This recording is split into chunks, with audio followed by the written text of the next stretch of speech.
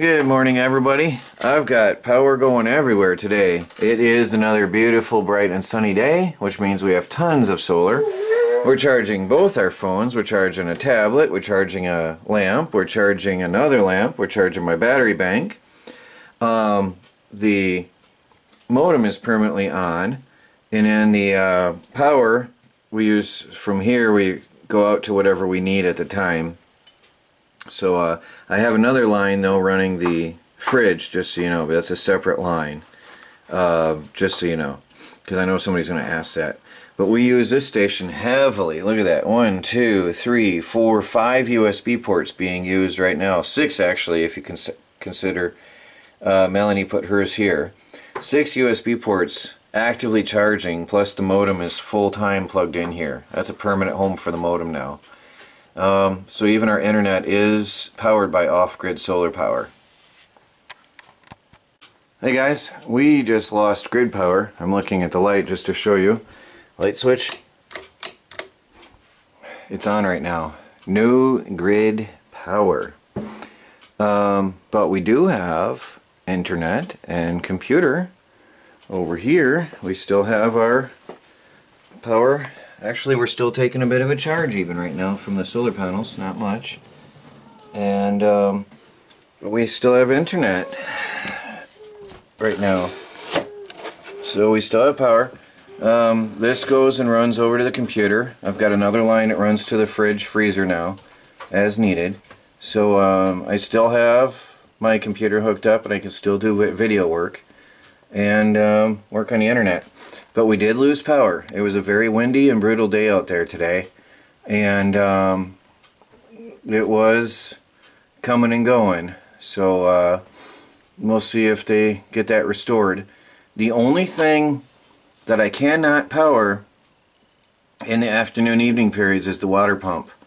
So with the grid down, we cannot pump water. That's the only thing that we really cannot do right now with no grid because um, with the sun down and not pumping on those solar panels there just isn't the power for the for the well. That is it's just is how it is. So that's the only thing we don't have in a power outage scenario. I take that back guys. We have no internet. Frontier internet out here in the country has no battery backup. And they're, we, the, uh, they lost, the, they're on the same grid line, there's the same lines as we are, wherever they are. Um, we're out. So that's a bummer. Frontier's out, internet is out, and um, the uh, main power for the uh, area is out. So I might as well shut that down. There is no internet. We have power. We can charge things, run things, run lights, whatever. We have power, but there's no uh, grid and no internet.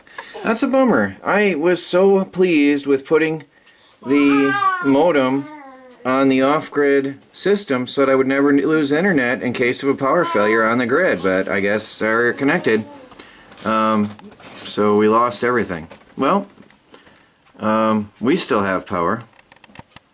Um, in here, in the bedroom slash office, I use the ThruNite TC20 um, as a, a light in here. It's actually all I use now in here, funny enough, because it has such a long battery life and it's USB rechargeable. That's the light I recently reviewed and um, it works for me perfectly. I have it on the medium setting and I've been running it for a week or so in here as a light. So um, we have enough power here at least, and I can charge that with USB as needed.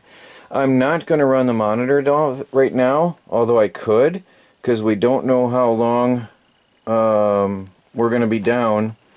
And I'm going to save everything we have um, in case I do need to try to power up that well pump. So I don't want to pull too much. Actually, that's not plugged in right now either. So right now, um, even the fridge is disconnected at this time just to save power and see how long this is going to be. Um, this is our truly first real off off the grid no power scenario where um, we're really going to test our system to its fullest extent. So, uh, well, it's a good experience. We'll see what happens.